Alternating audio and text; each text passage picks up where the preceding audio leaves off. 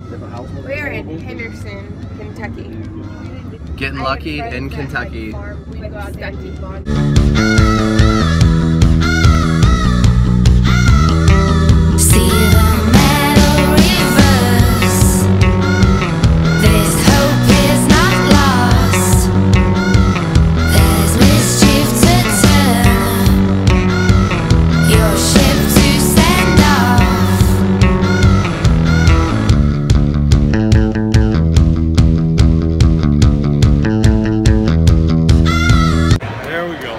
This is winter circle right here, man.